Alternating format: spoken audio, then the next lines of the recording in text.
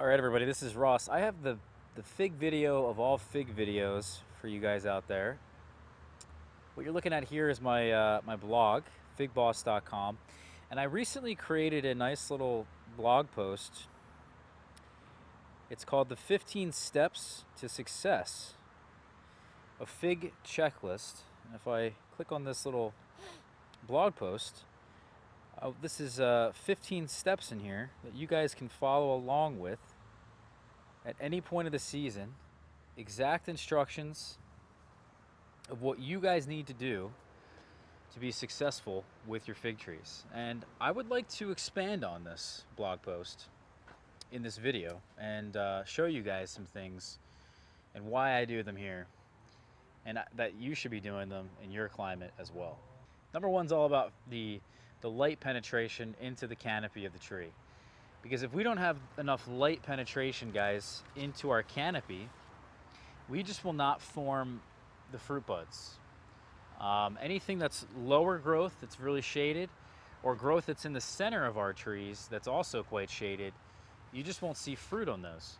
So it can happen quite often that, especially in the beginning of our seasons, where we talk about thinning. And thinning is a really nice technique that will ensure yourself some really good production. It's not necessarily about how much sunlight your tree has, right? It's not like, oh, you need eight hours of light you need 10 hours of light, you need six hours of light. It's about getting the right amount of light into the center of the tree. So for me, with a, with a potted tree like this, I like to train them as a tree form. We have a single stem trunk that comes up, branches out into some scaffolds, usually three to four scaffolds. And then on those three to four scaffolds, we have our fruiting wood.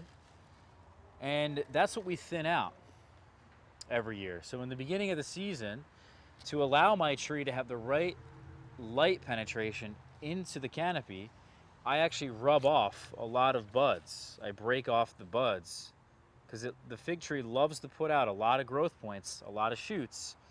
And by limiting the number of shoots, we're getting better light penetration into our trees, therefore getting the right fruit set. Number two is about our soil. And I've talked a ton with you guys about the soil. It really just has to be well draining. Um, and ideally your soil moisture should be consistently moist. So if you guys have a drier soil, that's okay too because figs can tolerate drier soils. But if you want the most optimum fruit quality, you want to have something that is consistently moist or slightly less than moist. So there's wet, which is we just watered our trees, it's saturated. And then there's dry, our trees desperately need water. And there's something in between called moist. So if we want to have a consistently moist soil, the best way to achieve that is to actually have a well draining soil. Figs do not like wet feet. They have more roots that are prone uh, prone to uh, to root rot. So if we are really paying attention to the soil, we almost completely eliminate any problems with root rot and uh, having less air in our soil. We want to have more air and the right amount of moisture. So that's really, really key. Number three, we want to do some applications of fertilizer. And I've touched a lot on fertilizer in the past. Um, we did a video that got a lot of hits earlier this year. It's uh, really only a couple months ago because I do my feedings every spring, the beginning of the season, right? I like to do my feedings from May till about June. That's when my trees start to actively grow. And I like to give them something like a 10, 4, 12. And I like to give them about four to six applications. If you go to the blog post, I talk about covering your micronutrients. I talk about using some other uh, more important micronutrients like calcium and magnesium. Those are two really important micronutrients, as well as a, a trace element called silica. And silica is a really big one. I like to use a product called Dyna-Gro Pro-TeKt, which actually I use on a lot of my vegetables. Um, it really helps the immune systems of your trees, um, lets them adapt better to stress, all different kinds of things. We'll get into a little bit more about the silica in just a minute. Number four, is we want to remove any unnecessary weeds or competition. Um, I'm sort of guilty of this myself this year, and that I have not been doing as much weeding on top of these pots or even in the ground as I probably should. And that's just common sense, right? We don't want to have weeds that are going to be competing for nutrients with our trees, also potentially competing with water. A big thing that people don't necessarily uh, recommend that often is actually the suckers. So a sucker is a root sucker that comes from the roots. Uh, you could call, I guess, a sucker one of these branches, but uh, a sucker is basically the same thing as these branches up higher, but it's coming from below the soil. And those, of course, steal away nutrients from the branches that are going to fruit, also creating some shading within your tree. So not necessarily the best thing. You may want to keep them if you're going to do some air layering, but suckers, uh, for the most part, just do not fruit. They don't have the right hormonal balance, it seems, for whatever reason, and they don't fruit. Uh, number five, this is a, a, pretty good one that I like to recommend, is keeping winter pruning to a minimum. Uh, winter pruning, as we do every year, it should be annual, by the way, guys. If we're going to do our annual winter pruning, we need to realize that if we do any winter pruning when the tree is dormant, it only encourages the tree to grow the following year. If we do some summer pruning, that actually across a, across the board on a lot of fruit trees here, guys, it actually encourages the, the fruit trees to flower and put out fruits. So with apples and pears and stone fruits, you may see more fruit buds, you may see some fruiting spurs. With the fig, we do our summer pruning in the form of pinching. And pinching actually induces the fruits, it causes the tree to flower, which is what a fig is. It's an inverted flower. So I like to recommend just keeping the winter pruning to a minimum because I'd rather have less growth and more fruit. Of course, you need a certain amount of growth to get the fruit, uh, but really if you prune specific varieties, and it depends on what variety you guys are growing, if you have something that doesn't really like to be pruned, all that much, uh, it could be a bad thing for you guys. So just in general, there are some varieties that don't mind being pruned as more than more than others, but as a general statement for success, I think I recommend that you guys keep the winter pruning to a minimum. And with a lot of these trees, it's more about shaping, um, getting more light into the canopy, removing the crisscrossing branches, the dead, diseased, and damaged wood. Um, and then also getting our form established, right? You got to get that form established first and foremost. Once you get the form established, it's more about the light penetration and actually really keeping the winter pruning to no more than about four inches of growth. In fact, I only really like to remove the tips. Uh, and that's a big recommendation by a grower named Montserrat Pons. Number six, I always talk about this ripen the fruits at the height of your season. What is the height of your season, guys? Well, that's usually the driest and the warmest time of your year. For me, that's right about now. Uh, we've had a hurricane that came through, but we want to be ripening our fruits around 90 to 95 degree weather. If things are getting a bit warmer than that, that's not more ideal. If things are in the 80s, it's okay. But once things drop below the 80s, it starts to get a little too cold the sugars don't develop nearly as well. Um, and then also, if we have a lot of moisture, these fruits necessarily don't produce the best quality fruit. So I would highly recommend that if you guys are struggling with fruit quality and you want the best quality fruits, try to force your fruit into, or you force your tree into fruiting at the right time of the year. How do we achieve that? Through pinching. Pinching really can get our trees, if we pinch it forces our trees to fruit about 70 to 90.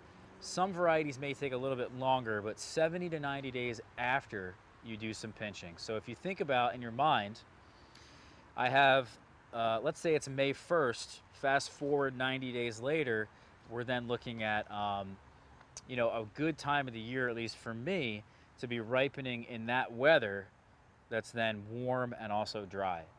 So think about that for yourself as well. All right, number seven. Harvest when the fig's neck is soft. So this is a big one that people mess up all the time.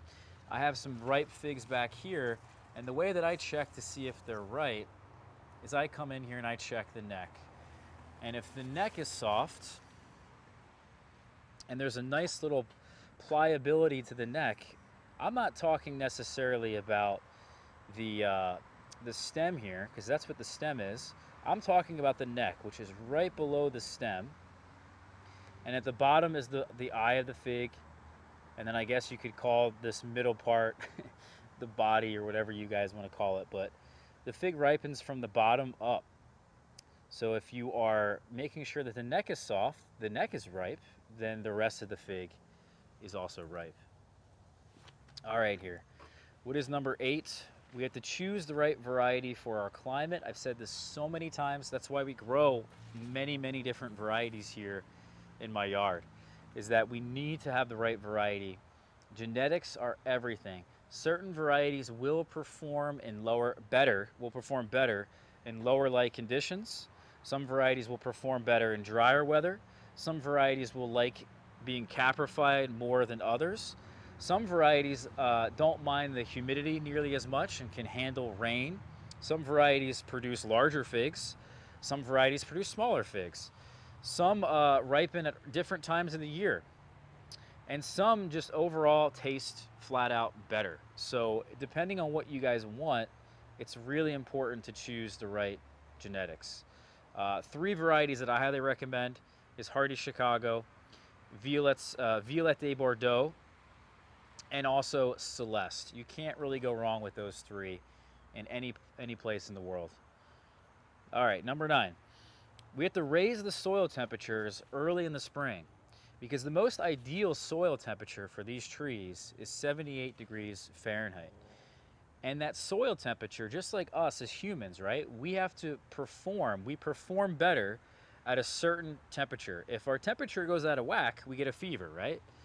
Uh, so we need to always be in that right temperature. It's the same thing for these plants and that they like to perform and they will perform better at 78 degrees Fahrenheit.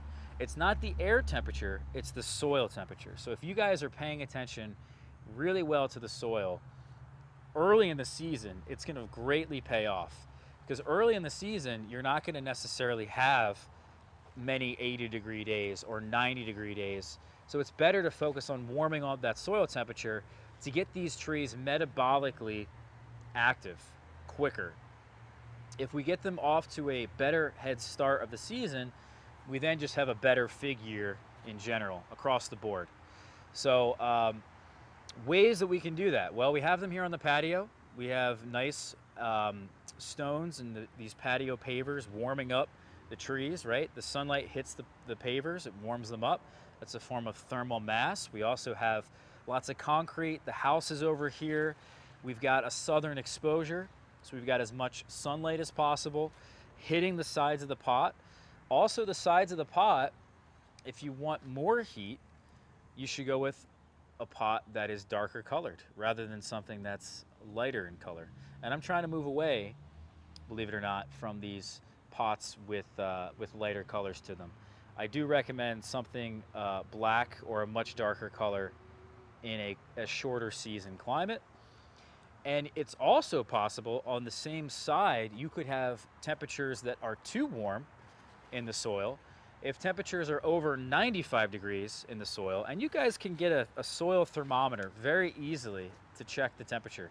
If it's over 95, your tree's not really gonna like it all that much so what I'd recommend is that you can actually get a lighter color pot. You could wrap tin foil around the pot. Um, or if you're growing them in the ground or even in a pot, it's very simple. Just get yourself some mulch. The mulch regulates the soil temperature. When it's warm, it lowers the soil temperature. When it's cold, it actually raises the soil temperature and acts as a form of insulation. So uh, really, really key there. And I highly recommend that you guys really pay attention to the soil temperature pretty much at all times of the year. Number 10 is something that I think you guys should do on an annual basis is probably spray them with some sort of dormant oil, horticultural oil, uh, or neem, some kind of product like that. Because what we want to do is check for things like scale. We want to check for things like spider mites. Fungus gnats are a big issue if you have an overly wet soil especially if you're rooting them indoors, you're rooting cuttings. You also want to check for borers because they are a very soft wood that figs have. So if borers can really get into a lot of these fruit trees, if you have borers in your area, it might be a problem. Um, also, I would really recommend that if you guys are struggling with fruit flies, as I do, and most of you guys probably do in humid climates, the SWD, spotted wing Drosophila, uh, you can alleviate the numbers just a little bit if you don't really leave out fermenting foods. So if I have a fig here, and this guy's starting to ferment on the tree because it has been raining here, right? It actually did split a little bit on the bottom. We had a hurricane that came through, guys. And if this splits open, it can start to mold, but more importantly, it can start to ferment. That fermentation smell, these fruit flies can easily smell that, or I guess sense that. I don't know if they have noses, guys, but they will be more encouraged to come around your figs or your other fruits. So it's a big recommendation. If you're just growing fruit in general, guys, dispose and take care of the fruits. Don't let them fall in the ground if they are destroyed, pick them up and get rid of them. Don't encourage the pest or the critter or the bird, whatever it is. Don't give them a uh, an idea or a, you know, don't give them a home in your yard. Okay. So that's a really big one right there. Um, also, a big recommendation here is if you guys are struggling with birds or critters, wrap them with organza bags. I use these organza bags every year. We have many videos on them. I don't have any out here for some reason. But I usually wrap them with party favor bags, and I have a link to those down in my Amazon storefront in the description of this video. Also, there's one last thing I want to mention about pests and critters. You may have a lot of ants, you may have slugs, and the slugs and the ants, even wasps, by the way, love to penetrate and eat through the sides of the fig and that really destroys them. If you expose the ex, you expose the interior, excuse me, guys, to the elements, you're then going to have a higher chances of mold. You're going to have a higher chances of ferment, fermentation. So you want to avoid these ants and these slugs. Same thing with the, the spotted wing Drosophila and the fruit flies. You may have hornets, you may have wasps. If they're getting to your figs, you got to take care of that issue right away. Don't, you know, let them know that these, these things exist and they're as tasty as they are. Um, for the ants and the slugs, I use a product called Tanglefoot. It's very simple. We take some tin foil, we wrap that around the trunk of the tree, apply the Tanglefoot over top of the tin foil, and that does not allow any of the slugs or ants to crawl up and down uh, your tree. All right, so we talked a lot about pests and critters. Number 11, rejuvenation prune. And I talked about rejuvenation pruning a lot. We have separate videos on all these topics, by the way, guys. But this is a really good idea if your tree is really heavily infected with the fig mosaic virus. And I've talked a lot about this virus in the past. It's mostly a non-issue, but this is really what the virus here can look like. You can see a lot of spots, mol uh, molting of the leaves. Just, I, you know, overall, they're just not very healthy. And normally you'll see this at younger ages. You'll see this across the board on many trees. Almost every fig tree has this there's no way to avoid it. The best way you can do this to avoid this disease and lessen the impact of the disease, because it does have an effect, is one, you can feed your trees well, which we do every year, and I highly recommend that you guys do, as I said, four to six times a year. But also we can do some rejuvenation pruning. And a lot of these younger trees here, I actually have cut them back to nothing. Um, we did it on our Col de Dame Blanc that's actually planted on the side of the house we, uh, we cut them back to nothing to then encourage actually a sucker from the base, from the soil.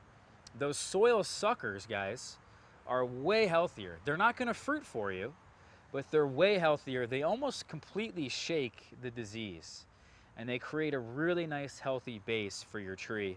I highly, highly recommend that you guys check into rejuvenation pruning. It's a technique that I use on all my trees when they're young and it sets them up for a good life later on. That's behind you guys are my older trees. Number 12, I would definitely allow figs to go dormant when possible. Obviously, some of you may not live in a climate where that is possible, and that's just something you got to deal with. But allowing a fig tree to go dormant, that's a really beneficial biological process that occurs with a lot of these deciduous trees. So yeah, they don't need a whole lot of chill hours, if any, but I would not bring them inside. I would let them go dormant with the rest of your trees. I know a lot of you guys want to get that big head start to the season, but I'm telling you, let them go dormant, let them get hit by a couple frosts in the fall or colder temperatures in the fall. They'll drop all their leaves and then they'll have this really amazing surge of energy in the spring. And that just goes a huge, a long way to the overall health, the productivity, uh, everything about your tree is just so much better with that. Number 13, this is for you guys out there with nematodes in your soil. Maybe you guys have sandier soils or you live down uh, further south. I would recommend you guys invest in a variety called LSU Purple. And I would plant LSU Purple down in the south and I would graft the variety that you want onto LSU Purple. LSU Purple is a root knot nematode resistant rootstock. There are other uh, varieties that you could try as well, specifically the varieties with uh, palmata genes in them. So the Ficus palmata hybrids between Ficus palmata and Ficus carica. Alma might be a good example of that. Uh, there's a number of different varieties. I have a huge video on that topic as well. Number 14, I would recommend picking up the falling leaves. If you guys have leaves that are falling on the ground, around this time of the year, it's, it's August now, a lot of you guys in the south, maybe even earlier than this, you're gonna struggle with something called rust. This happens a lot more frequently on trees that are younger, trees that do not have the right amount of silica, as rust is a disease, it's a fungus, so if you guys spray copper as an example, you may be able to ward off the disease, but for how long? For you guys in the South, it's pretty unlikely. It's a lot of work. Plus, you don't want to be spraying copper all the time. Nobody does. So I recommend silica, as I mentioned. That will increase the natural immune system and natural disease resistance of the tree. You will not get nearly as much rust. I haven't seen rust in my yard in years and I did a video on it describing rust and talking about it and I couldn't even show you an example of it because I didn't have it in my yard. But I promise you, rust, uh, if you pick up the leaves, the leaves are causing the issue. So you need to get rid of those leaves, dispose of them. It's only making the issue worse. And also spray the healthy leaves with silica, the Dyna-Gro Pro-TeKt, or use something in the soil that will act as a silica supplement. Um, many times throughout the year, you're going to have to do this. So something like, um, you know, a diatomaceous earth as an example. And then I think we're on the last one here. Number 15, this is all about lignification. And I've talked about lignification and why that's so important. For these very young trees here, these guys are growing and growing and growing. It's tough to slow them down. The way you can slow down a tree in terms of growth is really stopping the water. Cut the water out. You also can stop the fertilizer, the nitrogen, but really a lot of that's in the water. If you can slow down the water and keep things, like I mentioned, slightly below moist, you will actually slow down the growth in these trees. If you slow down the growth, you get better lignification of your trees. They can then handle lower temperatures. You have a better quality of cutting if you guys are trading or selling. And then also, um, this is a really big tip for you guys that get really early hard frosts like I do around Thanksgiving every year. We see a very abrupt hard frost that comes in around Thanksgiving. It's usually around 20 degrees Fahrenheit, sometimes even lower. I've seen it down to like 14. Thanksgiving night a couple years ago was 14 degrees Fahrenheit. And if your trees are just not well lignified, 14 degrees Fahrenheit is going to kill a lot of this growth. So big recommendation is around August, around now, you cut back the water, you cut back the fertilizer, and uh, you guys get good lignification. So I would highly recommend, guys, check out that blog post that we just went over on our blog, figboss.com. Refer back to that blog post. You guys are ever lost, that's why it's there. I hope this helps. I hope to see everybody soon. hit that subscribe button for me, and we will see everybody soon for more fig related videos. Take care, guys.